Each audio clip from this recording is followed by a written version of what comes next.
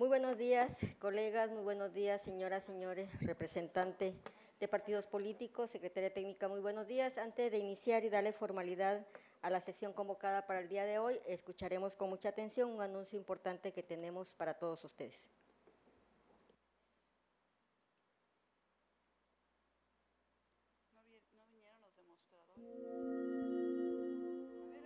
Bienvenidas y bienvenidos a la sala de sesiones del Consejo General del IEPC. La información que están por escuchar es de gran importancia, por lo que solicitamos prestar atención. De acuerdo con el protocolo del Programa Interno de Protección Civil, les informamos que esta sala cuenta con dos salidas para casos de emergencia, señalizadas con las letras A y B. Solicitamos su apoyo para identificar la ruta de evacuación y la salida de emergencia más cercana a su ubicación.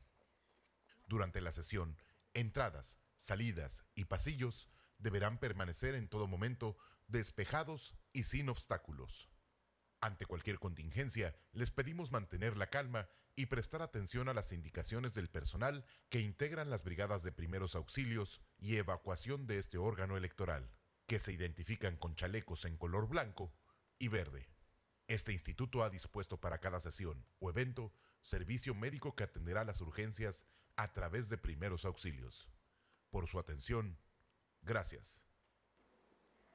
Bien, eh, pues nuevamente, bienvenidos, bienvenidas.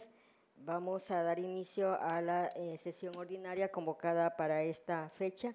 Y doy la bienvenida también al público que nos acompaña y quien nos sigue a través de las redes sociales del instituto siendo las 9 horas con 35 minutos del día 5 de marzo del año 2020 con fundamento en el artículo 46, fracción cuarta del reglamento de sesiones del Consejo General y Comisiones del Instituto de Elecciones y Participación Ciudadana, damos inicio a la sesión ordinaria de la Comisión Provisional de Igualdad de Género y No Discriminación convocada para esta fecha.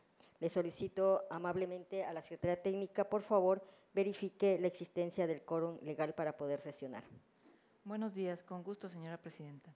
Me permito hacer constar que se encuentran presentes las consejeras electorales Sofía Margarita Sánchez Domínguez y Sofía Martínez de Castro León, integrantes de la comisión.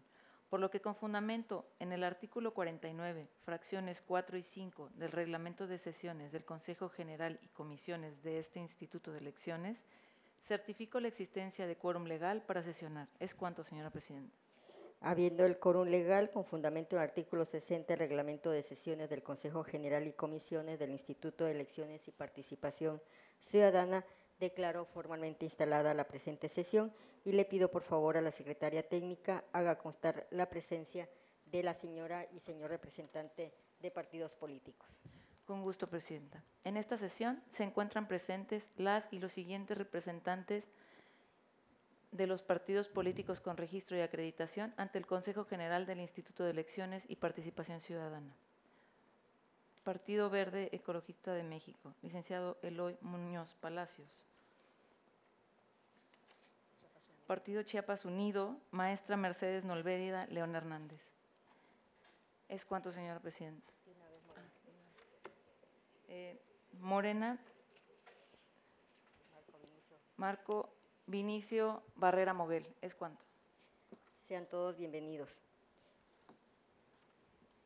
Le pido a la Secretaría Técnica, por favor, haga del conocimiento de quienes integran esta comisión los puntos del proyecto del orden del día a tratar en la presente sesión. Con su permiso, Presidenta. Los puntos del proyecto del orden del día son los siguientes. 1. Lista de asistencia y certificación del quórum legal. 2 declaratoria de instalación de la sesión ordinaria de la Comisión Provisional de Igualdad de Género y No Discriminación del Instituto de Elecciones y Participación Ciudadana. 3. Lectura y aprobación, en su caso, del orden del día. 4. Lectura y aprobación, en su caso, de la minuta de la sesión ordinaria de la Comisión de fecha 13 de febrero del 2020. 5. Dar cuenta del seguimiento de acuerdos de actividades de la Comisión Provisional de Igualdad de Género y No Discriminación. 6 dar cuenta de la ruta de trabajo para conmemorar el Día Internacional de la Mujer. Siete, asuntos generales. Son los asuntos programados, señora Presidenta. Compañeras consejeras, representantes de partidos políticos e integrantes todos de esta comisión, se somete a la consideración el orden del día de la presente sesión. Si alguien desea hacer algún comentario al respecto, sirva por favor manifestar. Al no haber eh, ninguna intervención, le pido a la secretaria técnica consultar la votación del orden del día. Con su permiso. Señoras consejeras electorales integrantes de esta comisión, me permito someter a su aprobación el contenido del orden del día de la presente sesión, por lo que atentamente le solicito que en caso de que su voto sea afirmativo, sirvan manifestarlo levantando la mano. Señora Presidenta, le informo que el contenido del orden del día fue aprobado por unanimidad de votos. ¿Es cuanto? Muchas gracias, eh, señora secretaria. Procedo a dar lectura al siguiente punto del orden del día. Con gusto, señora Presidenta. Antes, le solicito a usted que con fundamento en el artículo 46, fracción 6 del reglamento de sesiones del Consejo General y comisiones y aplicando por principio de analogía lo mandatado en el numeral 25 del reglamento en cita, me autorice realizar la consulta al Pleno de esta comisión para que se dispense la lectura de los documentos que fueron previamente circulados junto con la convocatoria y de esta forma se puede entrar directo al desahogo de los asuntos programados. Proceda, señora secretaria, a hacer la consulta que usted propone. Gracias, consejera presidenta. Señoras consejeras electorales integrantes de esta comisión, se somete a su aprobación la dispensa de la lectura de los documentos que previamente fueron circulados junto con la convocatoria para proceder al desahogo de los asuntos enlistados en el orden del día, por lo que le solicito atentamente que en caso de que su voto sea afirmativo, sirvan manifestarlo levantando la mano. Señora Presidenta, le informo que fue aprobada por unanimidad de votos la dispensa de la lectura de los documentos de referencia. ¿Es cuanto? Muchas gracias. Por favor, continuemos con el siguiente punto del orden del día. Con su permiso, Presidenta. El punto 4 del orden del día corresponde a lectura y aprobación, en su caso, de la lectura de la, minuta, de la minuta de la sesión ordinaria de la Comisión de fecha 13 de febrero de 2020. ¿Es cuánto? Señoras consejeras, eh, señora y señor, eh, señor integrantes eh, de los partidos políticos, es de su conocimiento la minuta de referencia. ¿Alguien desea hacer alguna intervención al respecto? En primera ronda eh, ha solicitado el uso de la voz la consejera Sofía Martínez de Castro León. Adelante, por favor. Gracias, buenos días a todas. Eh, únicamente señalar que eh, hicimos algunas pequeñas observaciones de forma a esta minuta y solicitar puedan ser consideradas. Es cuanto, gracias. Muchas gracias. ¿Alguien más desea hacer eh, algún comentario respecto a, las minuta, a la minuta? Perdón. De no ser así, le pido por favor a la secretaria técnica tome la votación con los cambios de forma que ha solicitado la consejera Sofía Martínez de Castro. Eh, con su permiso, antes eh, me permito hacer constar que se encuentra a, a, las 9.41 se integra esta sesión la ciudadana María Guadalupe Andrade Rives Villeda, del representante del PRI.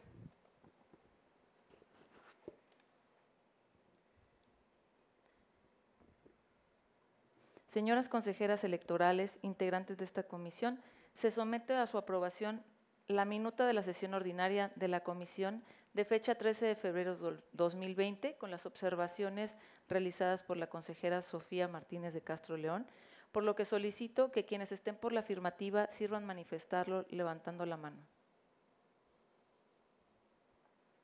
Señora Presidenta, le informo que la minuta de referencia ha sido aprobada por unanimidad de votos. ¿Es cuanto?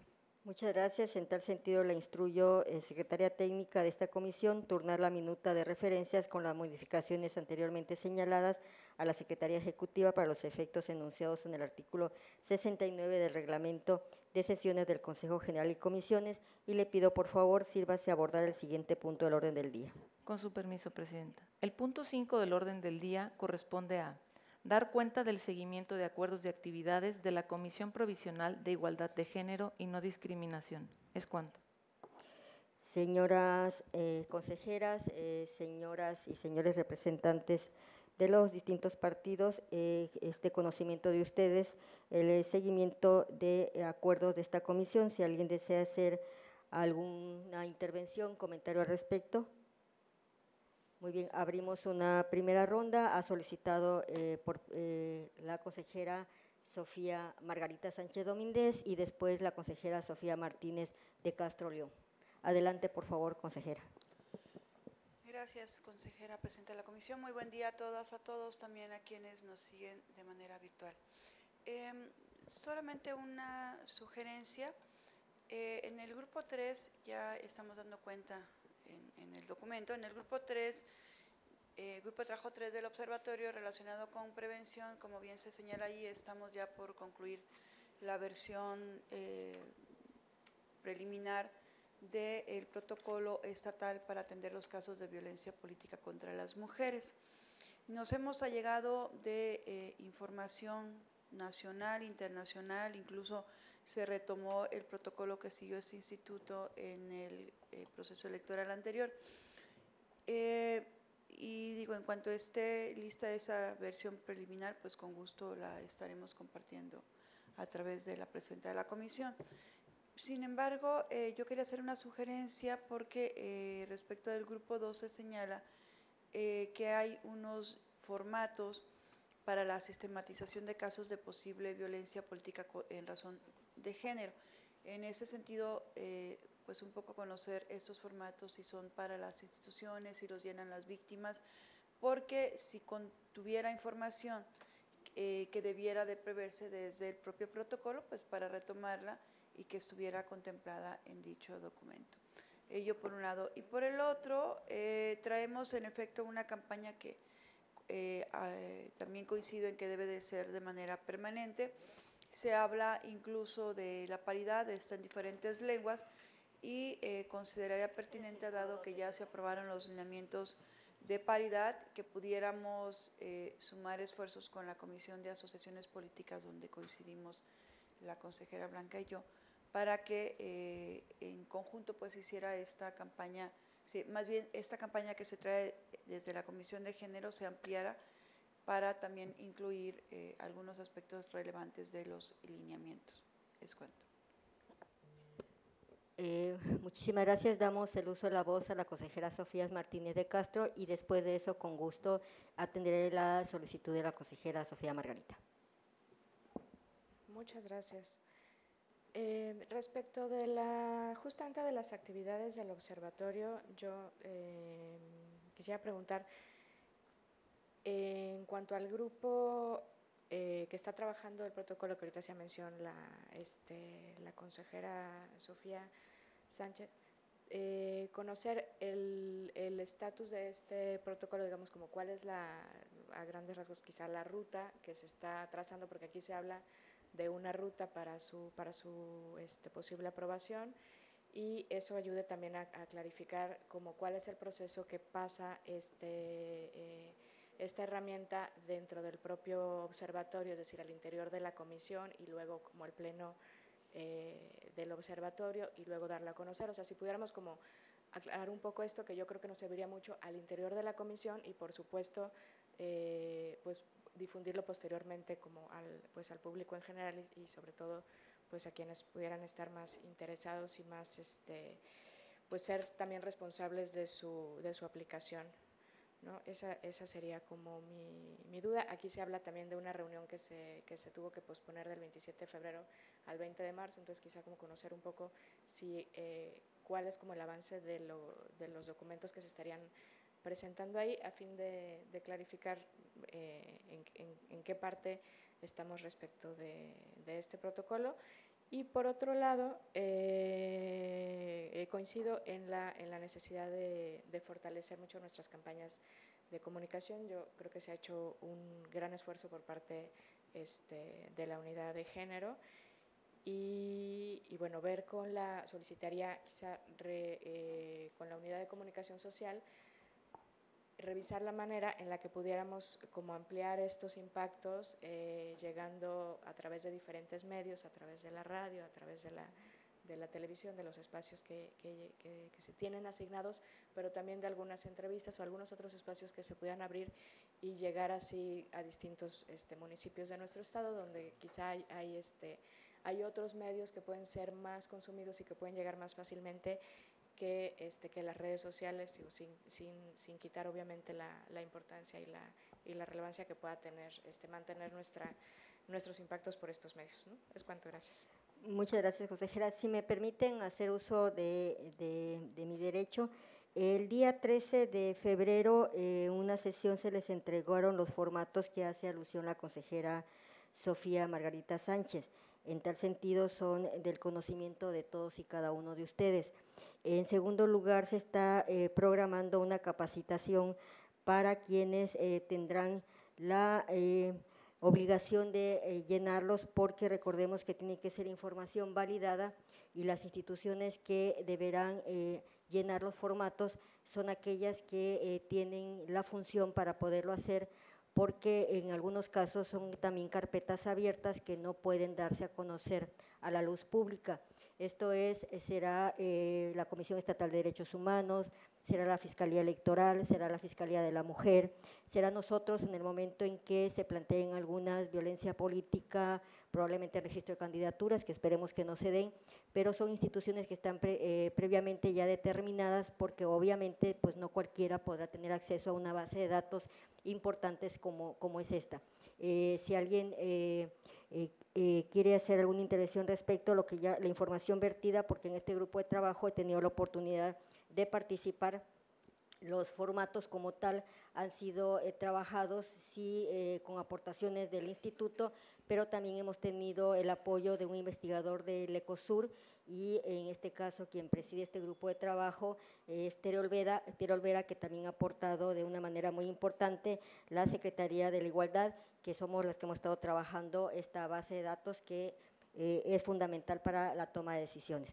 No sé si con esto queda, em, eh, digamos, eh, abordado la participación de la consejera Sofía Margarita y respecto a lo que eh, ha señalado la consejera Sofía Martínez de Castro, he de declarar públicamente que no tengo la información porque es un grupo de trabajo al cual yo no participo, participa la consejera Sofía Margarita, le pediría de manera respetuosa que si tiene mayor información que nos ayude, que nos dé luces hacia dónde va este grupo de trabajo, nos haga favor de compartirla, obviamente en una segunda ronda, para que eh, nos quede más claro cuál es la ruta que están siguiendo, eh, cuál es el avance que tenemos respecto a esto, que eh, todos coincidimos que es fundamental contar con un protocolo importante para de ellos apoyarnos en las distintas instituciones que estamos participando en el observatorio y pudiéramos avanzar. No sé si consejera, si me hiciera usted favor de apoyarnos. Muchísimas gracias. Sí, gracias. Bueno, un poco voy a a relatar, digamos, en qué condiciones eh, o, cuál fue el contexto en el que nos encontramos cuando nos incorporamos al grupo de trabajo. Nosotros nos incorporamos aproximadamente como en la quinta sesión de trabajo. Traían ellos ya avanzado un documento eh, pues muy extenso, pero que poco definía sobre realmente lo que es un protocolo, que son los pasos, el ABC de cómo atender a las víctimas. Entonces, en ese sentido, eh, hacía falta, por un lado, información de parte del instituto. Eh, apoyamos nosotros mucho en poder conceptualizar la paridad y en poder conceptualizar la violencia política contra las mujeres en razón de género. Ello por un lado. Y por el otro, vimos también pues, que cuando les pidieron información a las diferentes instituciones que participamos, que eh, están la Fiscalía Electoral, el Tribunal Electoral Estatal, este INE, pero más bien como invitado, el Instituto eh, y eh, la Fiscalía para la Mujer, la Secretaría de Igualdad y otras instituciones del Poder Ejecutivo del Gobierno del Estado que debieran también de tener su propio protocolo para atención a víctimas por violencia de cualquier tipo, pero que sí sea violencia de género. Entonces, en ese sentido, eh, eh, había un documento que estaba pues, pensado que ya se llevara al observatorio para su aprobación y a sugerencia de nosotros, pues eh, se detuvo para poder más bien reconceptualizar muchas cosas y particularmente para precisar cuáles son las atribuciones de las diferentes instituciones relacionadas con la atención a víctimas por violencia política, porque estaban todas en general y entonces no ayudaba mucho para tener un documento ágil para la ciudadanía. Entonces, en ese sentido, de ahí que esta reunión que se tenía prevista para esta semana se pospuso para el 20 de marzo porque eh, a partir de formatos que se, que se elaboraron aquí en el instituto y con el apoyo de la Secretaría de Igualdad, pues se distribuyeron a las diferentes instituciones para que ahora sí, de manera muy precisa, nos digan cuáles son esas atribuciones, cuál es el protocolo que se tiene, qué, qué es eh, lo que ellos estarían atendiendo. El propósito del protocolo es que una víctima, cualquiera que sea, donde quiera que esté, pueda acudir a cualquiera de estas instancias que tienen pues sus sedes en todo el estado y que sean canalizadas de manera eh, oportuna y de manera pertinente y que además durante eh, su atención pues no las estemos revictimizando. ¿no? Se está previendo en el protocolo, por ejemplo, que sea una mujer, que sea abogada quien eh, de primera instancia atienda a las víctimas en cualquiera de estas instituciones y en caso de que se trate de mujeres indígenas, pues que se cuente con la o el intérprete pertinente, ¿no? Y en la tercera ronda, pues ya hondo sobre el camino que se tiene previsto. Muy bien, ¿alguien más desea? Con mucho gusto, perdón, ha solicitado el uso de la voz la representante del PRI, la licenciada Lupita Andrade. Muy buenos días a todos. Yo, ay, perdón, eh, yo celebro mucho estos avances en protección a los derechos de las mujeres y en nuestra constitución local, en el artículo octavo, viene señalado la igualdad de las personas y la equidad de género, específicamente su fracción octava, donde habla de la violencia incluso en los procesos electorales y postelectorales. Es importantísimo tener un protocolo de ese tipo, pero escucho y veo el trabajo que está haciendo esta comisión y yo lo celebro pero a la vez me genera impotencia porque hay mucho que hacer, muchísimo que hacer. Porque este es un tema de educación y un tema de cultura. Tenemos mujeres activas dentro de la política, me refiero a militantes, simpatizantes, eh, incluso mujeres con cargos de dirección en los institutos políticos y no conocen sus órganos dentro, dentro de los institutos políticos. No conocen sus estatutos y no conocen sus derechos. Y es lamentable porque muchas mujeres dentro de los partidos políticos no saben qué instancia tocar dentro de su partido para defender sus derechos. Y estamos hablando de que es un trabajo que se tiene que hacer de educación cultural, este, por parte de todos. Aquí el instituto podrá estar difundiendo información, haciendo infografías, generando videos, pero si no replicamos, el avance no se va a ver. Entonces tiene que permearse en diferentes áreas. Esto está a nivel constitucional en el estado de Chiapas. Es una obligación que tenemos todos de salvaguardar los derechos de las mujeres. Entonces creo que debemos eh, participar, pero de una manera continua e ininterrumpida, y no soltar este tema. No he visto el protocolo y me gustaría que me compartieran los avances, me gustaría revisarlos, yo se los agradecería mucho. No he visto los, los avances pero estamos hablando, escuchaba a la, consejera este, Sofía Margarita que decía que de entrada garantizar el apoyo de una abogada. ¿Cuánto tiempo me queda? Pero también se tiene que ver el apoyo de un área psicológica, porque la violencia afecta emocional y mentalmente a las personas.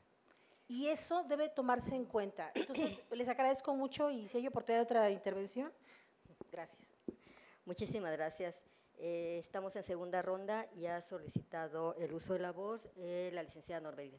Adelante, por favor. Gracias, consejera presidenta. Muy buenos días a todas, a todos los presentes y a quienes nos siguen a través de las plataformas digitales. Eh, definitivamente el observatorio está haciendo un buen trabajo y pues dentro del observatorio están los diferentes eh, órganos electorales, ¿no? el, tribunal, el instituto, la fiscalía. Y pues felicito a la consejera Sofía que se haya revisado ese proyecto de protocolo, porque eh, existen protocolos pues, a nivel nacional, existen diversos protocolos de diferentes instituciones y, existe un protocolo en el Estado ya. Sin embargo, eh, creo que a veces es muy repetitivo y yo creo que se debe de tropicalizar al Estado, a los municipios, al área en el que se va a enfocar, porque si nada más venimos repitiendo los protocolos que ya existen, ¿no? incluso los partidos políticos, si hacemos protocolos muy genéricos, eh, realmente no van a tener... Eh, eh, no van a cumplir el objetivo que se busca. Creo que sí debe de hacerse muy fácil de entender, muy digerible y, que se haga una revisión para que sea muy puntual.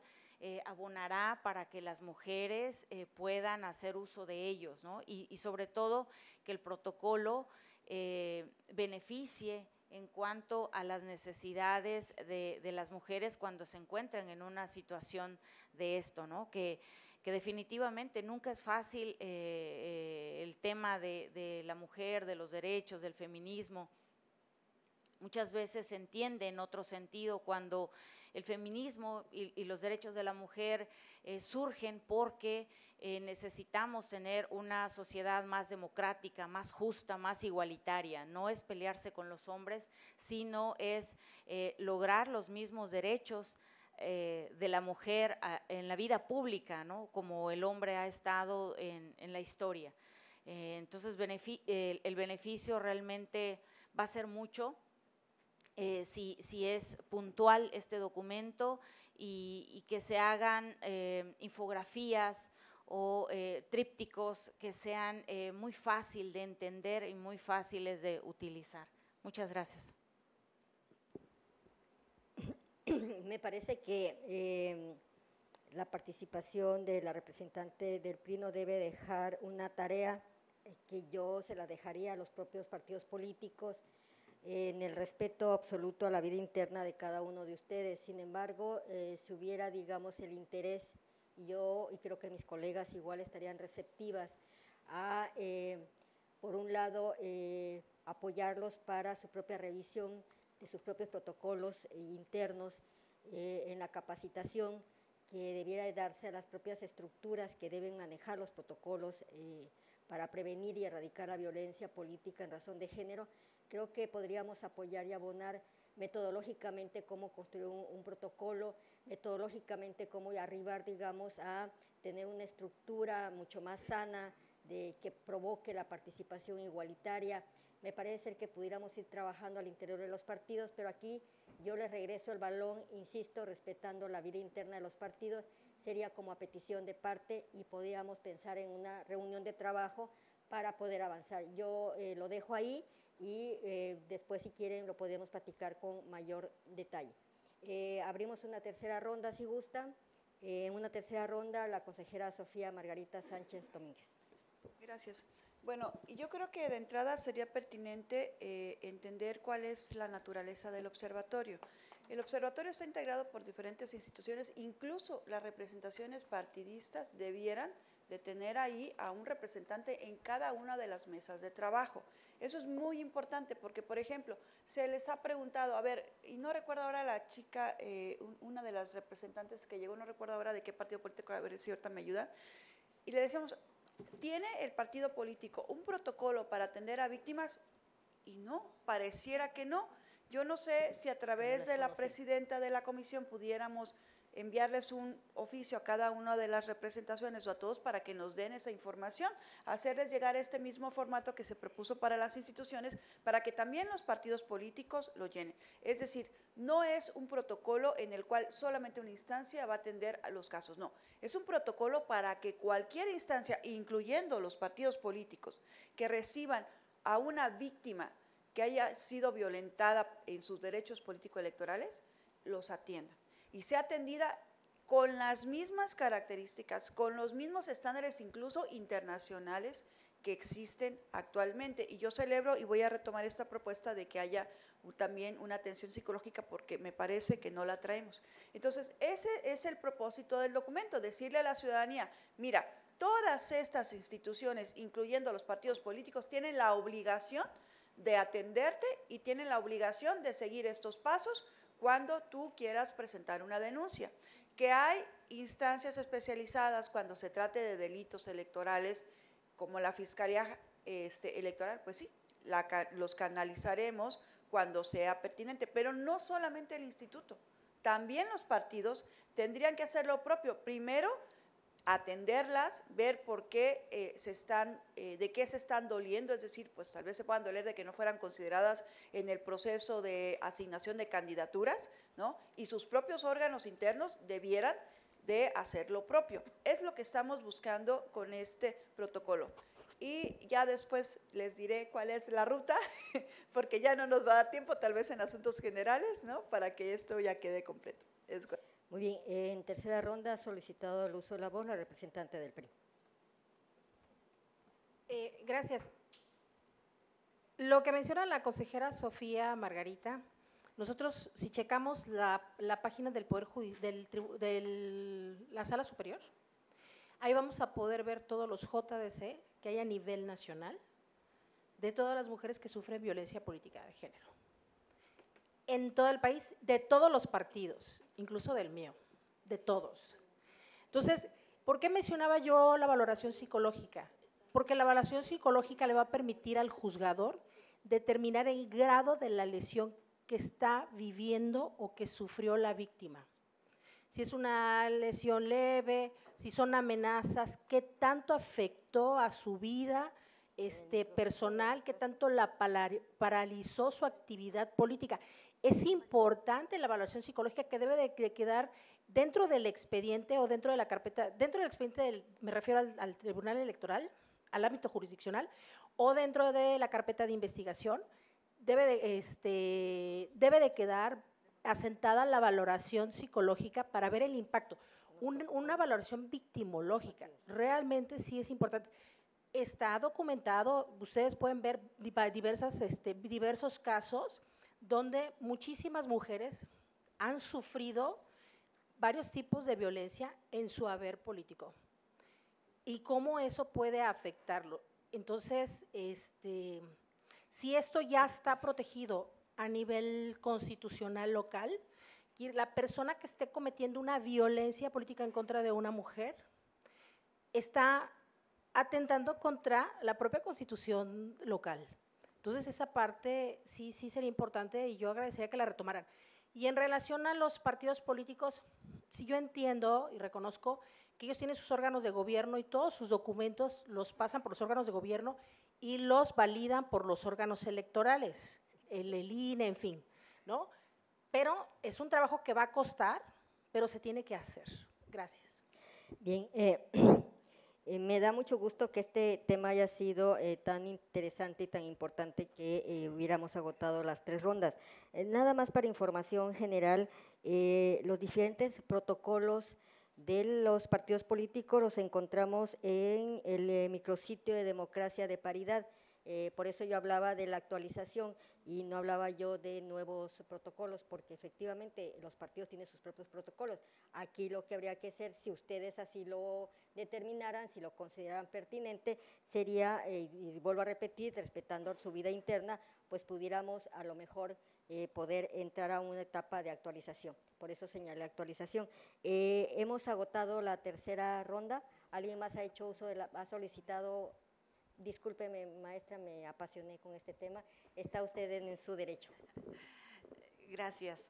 Eh, nada más para digo, tomarle la palabra, el, Partido Chiapas Unido cuenta con un protocolo eh, para atender la violencia política en contra de las mujeres, pero creo que sí es necesario que eh, podamos eh, igual coincidir en, algunos temas generales, ¿no? porque todos los partidos estamos en la misma situación y, y sí sería prudente revisar esos protocolos que ya existen y este, pues, eh, tomar las mejores prácticas ¿no? para que todos lo apliquemos. Muchas gracias.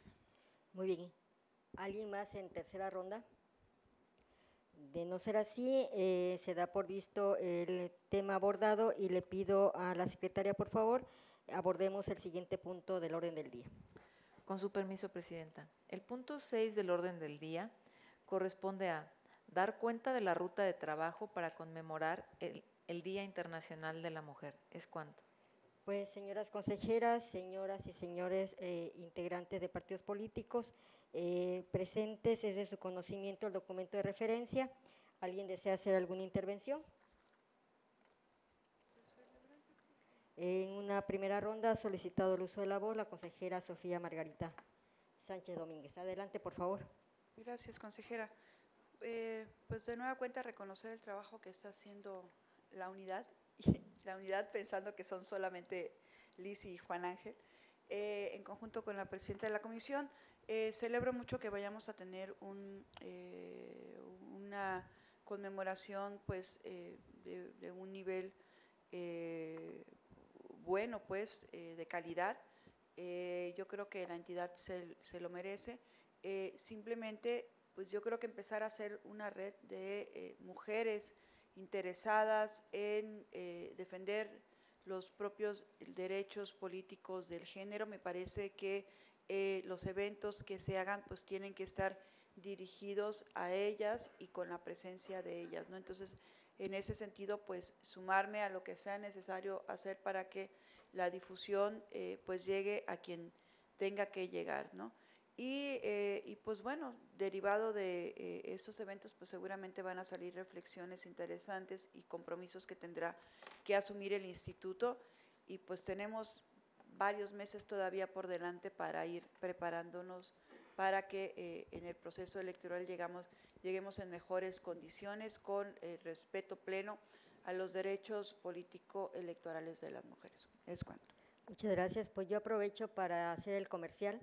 Eh, para que ustedes nos apoyen a difundir un evento que será abierto al público, eh, un evento que eh, buscará efectivamente la reflexión con especialistas del primer nivel y que puedan ustedes también agendarlo para que ese día podamos contar con la presencia de las señoras y señores representantes de partido, las señoras consejeras, y el público en general que nos quiera acompañar. Eh, el evento, así muy rápidamente les comento, tiene dos, eh, dos eh, partes. La primera parte será una conferencia muy importante que nos va a hacer favor de venir a impartir la periodista Cecilia Lavalle. la conferencia está denominada como Certezas y Convicciones hasta que la igualdad se haga costumbre. Después de esta conferencia pasaremos a un conversatorio, un foro donde eh, contaremos con la presencia de eh, María de los Ángeles Cruz Hernández, que es la subsecretaria de Economía de la CEIGEN, el maestro Francisco Gallardo de la Asociación Civil Transforma Chiapas, la doctora Leticia Bonifaz Alfonso, asesora externa del proyecto INPI, la doctora María del Carmen Alani Figueroa, asesora externa también del proyecto INPI, y dos eh, queridas compañeras y colegas, que es María Sánchez abogada de eh, Chapultenango y em, una compañera más de Chalchihuitán, que estamos, estas dos eh, colegas, estamos esperando que nos confirmen su presencia y participación. Eh, esto es lo que traemos para el día de 18. Sin embargo, la intención no es solamente esta actividad. Ustedes pueden observar la ruta que traemos, tanto de trabajos internos como externos, y coincido con las consejeras o las consejeras de la necesidad de intensificar las campañas, tanto las que traemos de manera permanente como las que tendremos que abordar por el Día Internacional de la Mujer. ¿Alguien más desea hacer uso de la voz en este tema después de mi comercial? De la consejera Sofía Martínez de Castro y estamos en primera ronda.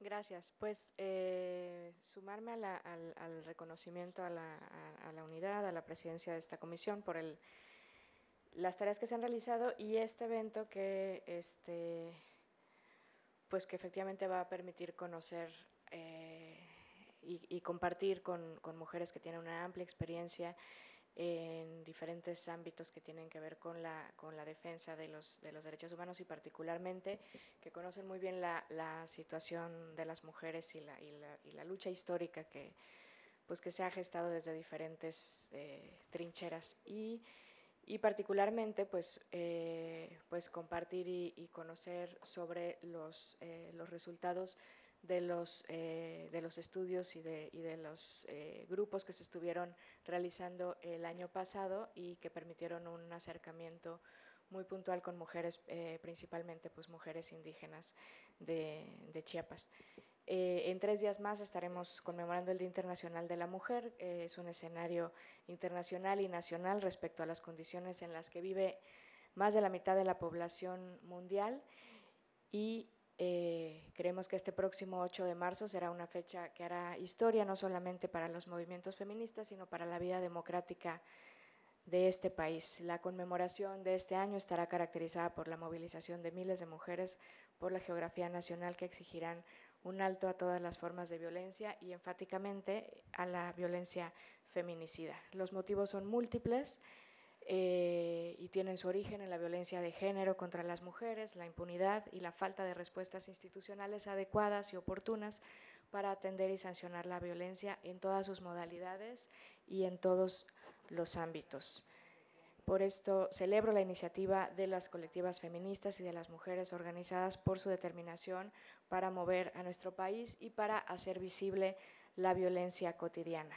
Como mujer comparto la demanda de respeto a nuestros derechos y la exigencia de que se nos garantice una vida libre de violencia y como integrante de una institución garante de la democracia asumo que no hay democracia posible sin la participación de las mujeres y que para ellas, eh, para que ellas, para que todas puedan participar, las necesitamos libres, las necesitamos vivas y las necesitamos eh, informadas. Eh, pues por esto celebro aún más que estemos realizando esta actividad y, y, me sumo también a la, a la propuesta de que fortalezcamos las redes que ya se han venido gestando con, con mujeres de los diversos este, municipios y de todas las corrientes eh, políticas o de ninguna corriente política también de todo nuestro estado. Es cuanto, gracias.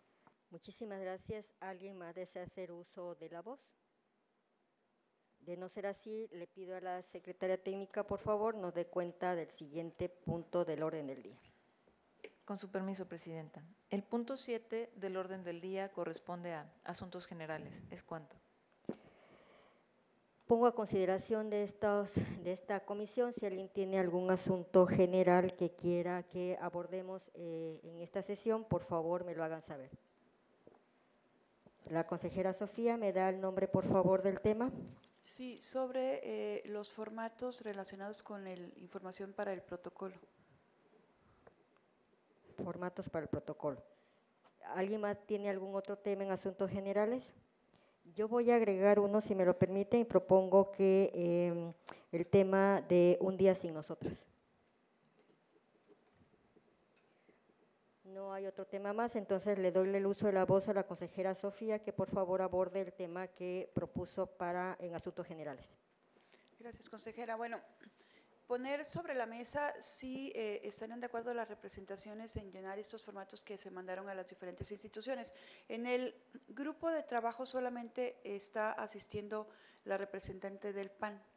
No es, la representante ante el Consejo, es otra persona que han designado. Yo esperaría que también pudieran otras representaciones sumarse a este, a este grupo. Eh, y pondría sobre la mesa que pudiéramos, a través de la presidenta de la comisión, hacerles llegar estos formatos que hacen, que, lo que buscan es recabar información precisamente sobre cuáles son los pasos que se siguen, cuál es el protocolo que se sigue al interior de los partidos para atender los casos de violencia, con el propósito de que esa información estuviera contenida dentro de este eh, documento general que se está haciendo por un lado. Y por el otro, comentarles que eh, no hemos compartido el documento porque quien trae la coordinación del grupo de trabajo es el fiscal electoral. Entonces nosotros lo que hemos hecho es mandar todas las observaciones completas al documento, tanto en lo que corresponde al apartado del instituto como al documento en general, pero ellos todavía no han impactado esos cambios. El compromiso sería que una vez que se tenga la versión definitiva, que es la que ellos eh, bueno, que es la que el fiscal tendría que presentar al observatorio, con gusto yo la comparto con la presidenta para que puedan eh, conocerlas, para que todo el mundo estemos en sintonía y si es pertinente, pues estaría buscando alguna reunión de trabajo para hacer observaciones a través eh, de la de la comisión, a través mía tal vez, antes de que fuera eh, aprobado en el observatorio. Pero vuelvo a insistir, ustedes también tienen representación en el observatorio. Eh, de repente puede ser resultar, digamos, un poco con algún problema de coordinación, pero buscaremos pues que la información la tengamos todas y todos de manera oportuna. Ha solicitado el uso de la voz la representante del PRI. Ay, dije quiero hablar, pero bueno. no sé qué desayuné hoy. Eh, me parece muy bien la, mm, la solicitud y el contenido del formato que menciona la consejera Margarita. Eh, nada más que a mí me gustaría abonar, y lo pongo a consideración de la mesa, eh, creo que eso lo deberían de dirigir directamente a las dirigencias de los institutos políticos, porque ellos son los que tienen la información y, y en su caso, eh, si no la contestan ellos, bueno, la turnarán al área correspondiente que pueda y tenga la información necesaria y pueda hacerla llegar a la autoridad. Entonces creo que sería más viable dirigirlo directamente a las representaciones de cada uno de los institutos políticos. Gracias. Gracias a usted. ¿Alguien más desea participar? Eh, estamos en asuntos generales. Muy bien, entonces, en resumen, yo diría que es importante que eh, en este grupo de trabajo, si hay alguna representación que eh, quiera participar, lo pueda hacer de manera directa al grupo de trabajo para tener mucho mayor información respecto al tema en particular. ¿Desean abrir segunda ronda, señoras? Bien, abrimos una segunda ronda hasta tercer, por tres minutos, por favor, y estamos, insisto, atendiendo un tema en particular en asuntos generales. Gracias. Bueno, retomando la propuesta, la voy a hacer llegar al fiscal, que es el que coordina el grupo, pero de todas maneras yo, yo vería pertinente que distribuyéramos estos formatos. Los tiempos están muy cortos, desafortunadamente y tenemos hasta el 20 de marzo para poder contar con toda la información. Es la fecha que puso la Fiscalía. Eh, de todas maneras, lo circulamos, vemos si hay forma de que a través de las representaciones en el Consejo General pudiéramos obtener la información, con independencia de que también se haga directamente a las dirigencias estatales de los diferentes partidos políticos. Muy bien, muchas gracias. Eh, ¿Está suficientemente discutido este tema? Ok, en este caso eh, yo anoté uno que tiene que ver precisamente en el marco del Internacional de la Mujer y es un movimiento ciudadano que se le ha denominado Un Día Sin Nosotras. Eh, quiero eh, anunciar públicamente que me sumo al movimiento y me subo al movimiento por tres cosas importantes. Primero, para decir ya basta, ya basta que nos maten, ya basta que no nos vean. Nosotras somos el 53% de la población, aportamos el 17% del Producto Interno Bruto. ¿Y qué pasaría con este país si desaparecemos un día? Me sumo también porque no es un movimiento de color de partido político, es un movimiento ciudadano de mujeres para mujeres y por mujeres. Me sumo porque ojalá a partir de este movimiento se inicie de manera seria a formular políticas públicas que frenen esta ola de violencia para nosotras las mujeres. Me sumo porque no tiene un fin de lucro, no tiene un fin político, sino tiene un fin mucho más profundo. Eh, yo ese día, el 9 de julio, a nombre muy personal, pararé todas mis actividades para ver si mi ausencia significa mi presencia en el futuro. Eh, tampoco es un exhorto a que lo hagan más mujeres. Las mujeres tienen que parar por convicción, porque están seguras y ciertas que es un mecanismo y una estrategia que puede abonar a la paz y que puede abonar a que nos dejen de matar. Eh, en tal sentido, pues, eh, quiero hacerlo y lo hago públicamente como presidente de la comisión y lo hago para que sepan que el día 9 de marzo esta consejera estará haciendo nada como una forma de protesta para ver si después me permiten hacer todo. Es cuanto alguien más quiere señalar respecto a este día en particular. Les pediría yo a mis compañeros hombres que ese día no es un día eh, que se dediquen a hacer nada. Es un día que tienen que hacer el trabajo de las mujeres para que efectivamente ese día sea un día que ellos puedan sentir que el trabajo de nosotras es un trabajo fundamental. Dicho esto, abro la participación. Ha solicitado el uso de la voz la consejera Sofía Margarita Sánchez Domínguez. Gracias. Hay una, una frase que está circulando en redes y que me gustaría replicar que dice, Muerta no eres ni de derecha ni de izquierda. Muerta no eres conservadora ni liberal, ni neoliberal ni antiliberal. Muerta no eres progobierno o antigobierno. Muerta no eres, muerta no estás. Y precisamente de eso se trata el paro del 9 de marzo, de visibilizar la violencia atroz que sufrimos las mujeres por el simple hecho de ser mujeres. Y como lo decía yo en la sesión de Consejo General, la violencia está normalizada. El feminicidio es el, el, punto extremo de la violencia que hay en contra de las mujeres. Y como hemos visto, es provocada en el ámbito doméstico. Entonces imagínense si en el ámbito doméstico somos violentadas de esa naturaleza, pues cuando salimos a la vida pública, pues bueno, qué cosa nos espera, ¿no? Nos esperan cosas eh, peores porque allá estamos compitiendo con hombres, porque estamos eh, diciéndoles a los hombres que tenemos las mismas capacidad que ellos para ocupar los puestos públicos, para la toma de decisiones. Y eh, de ahí que este movimiento, eso precisamente es lo que busqué de entrada, visibilizar el, el feminicidio particularmente ante las instituciones responsables de detenerlo responsables de castigarlo, pero también entre los hombres, porque finalmente existen micromachismos cotidianos que son los que violentan en el día a día a las mujeres. Y eh, pues es parte de una cultura patriarcal que tenemos, es, esa cultura nos ha hecho eh, normalizar la violencia en cada uno de los ámbitos, hasta en el ámbito más pequeño, digamos, eh, y no nos hemos dado cuenta. Entonces, de ahí que yo la verdad que respeto mucho y admiro a las chicas, así les digo yo, que se han animado a, a, visibilizarla. Y en ese sentido se han atacado de diferentes formas las, los tres movimientos que van a haber desde el propio 8 de marzo. Yo creo que aquí no importa la forma en que uno se manifieste. Yo creo que el foco no tiene que ser la forma de manifestación, yo creo que el foco tiene que ser la sensibilización hacia estos actos de violencia que en el día a día siguen eh, sucediendo. Hay nombres eh, que han eh, o que están abanderando estas causas, nombres de mujeres asesinadas por sus propias parejas, pero sin embargo no son las únicas, o sea, hay, detrás muchas mujeres que no han salido a la luz pública. Eh, recientemente incluso a propuesta de una mujer es que se empezó a visibilizar eh, las muertes de mujeres por el simple hecho de ser mujeres, porque antes ni siquiera estábamos en, la estadística. Si no estábamos como vivas, pues como muertas menos, ¿no? Entonces, eh, creo que visibilizar estos actos, pues atroces, que son cometidos por seres humanos, ¿no?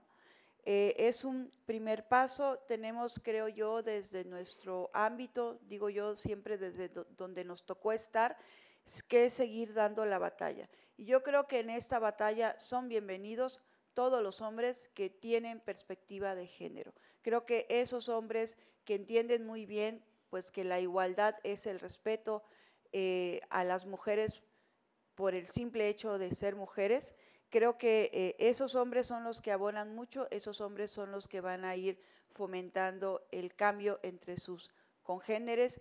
Por supuesto que también hay mujeres que eh, siguen reproduciendo los patrones patriarcales, eh, pero finalmente, insisto, estos movimientos lo único que buscan, pues no es confrontarnos entre hombres y mujeres, es visibilizar la cultura patriarcal que se tiene, visibilizar que se requiere un cambio, que esa cultura pues ya pasó a la historia, que las mujeres estamos asumiendo roles en contextos pues muy adversos y que eh, tenemos que eh, empezar a buscar estos cambios desde los ámbitos más pequeños para que en el ámbito público también podamos eh, detener la violencia política contra las mujeres en razón de género. Es cuanto.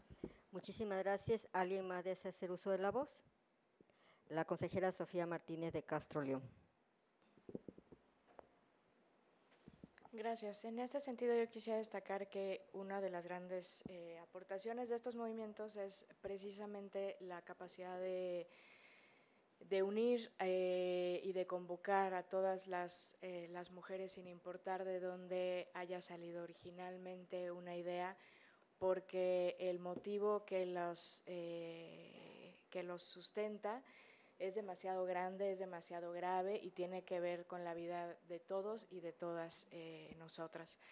entonces, tanto la cadena feminista del día 7, como la marcha del día 8, como el movimiento de Un Día Sin Mujeres el día 9, creo que, eh, hay, que hay que tomarlos eh, con lo que cada quien de manera personal pueda eh, pues participar de ellos, pueda reflexionar a partir de ellos y en esta, en esta reflexión por supuesto que están también convocados y muy importante la participación de los hombres. Yo me sumo también a este, a este paro el día, el día 9 como una, como una medida para visibilizar justamente eh, lo que sucede con la ausencia de las mujeres y con la urgencia de que dejemos de normalizar eh, estas, estas ausencias eh, temporales o definitivas, este leernos todos los días en los medios sobre desapariciones, sobre casos de extrema violencia en contra de mujeres de todas las edades en todos los estados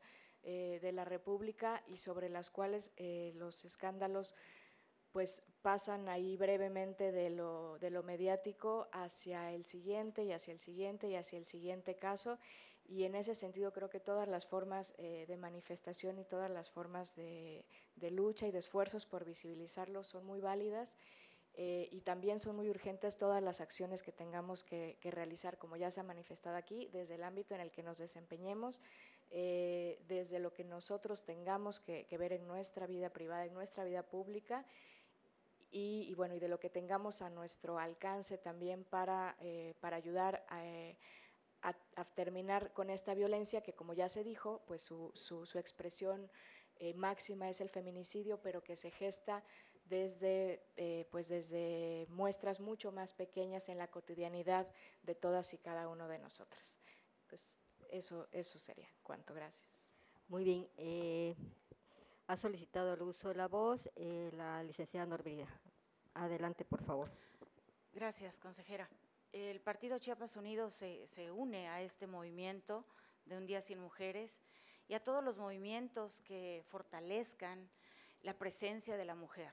y, todo lo que vaya, todos los instrumentos que abonen para erradicar la violencia en contra de las mujeres. Desafortunadamente, eh, traemos la historia de que las mujeres es complicado unirnos. La sociedad ha exaltado, sin embargo, de sobremanera, de sobremanera la camadería entre hombres, creando a su vez el mito de que entre las mujeres solo es posible la competencia y la envidia. Es el propio sistema patriarcal el que ha orillado a las mujeres a competir entre sí y así las representan los medios. Creo que debemos de darle vuelta a esta página, creo que tenemos que eh, demostrar sororidad entre nosotras, tenemos que unirnos. He leído a muchas mujeres que cuestionan este movimiento y en que dicen, bueno, ¿y qué van a ganar? ¿Y de qué sirve un solo día? ¿Y qué es lo que van a proponer? Sin embargo, el fondo de esto es lo que todos los movimientos han eh, buscado, visibilizar esta desigualdad, visibilizar la violencia que hay en contra de la mujer y, por supuesto que sí tiene resultados. Tanto es que, gracias a todos esos movimientos feministas históricos, a tantas mujeres que fueron violentadas, hoy en día las mujeres podemos votar, podemos ser votadas, podemos estudiar, y tenemos muchísimos más derechos que tiempo atrás. Entonces, eh, por supuesto que apoyamos este movimiento y eh, también felicito y agradezco a muchos hombres que también han posteado y han publicado que están a favor de los derechos de las mujeres porque tienen hijas que en un futuro, eh, por supuesto, que quieren dejarles una sociedad libre de violencia. Muchas gracias. Muy bien si ya no hay más participaciones y siendo el último punto del orden del día, eh, señoras consejeras, señoras y señores representantes eh, de partidos políticos, agotados los puntos del orden del día, Eh, siendo las 10 horas con 33 minutos del día 5 de marzo del año 2020, declaro clausurada la presente sesión, no sin antes agradecer a cada uno de ustedes su paciencia, sus aportaciones y su compromiso por los temas de igualdad y paridad. Muy buenos días, que la pasen muy bien.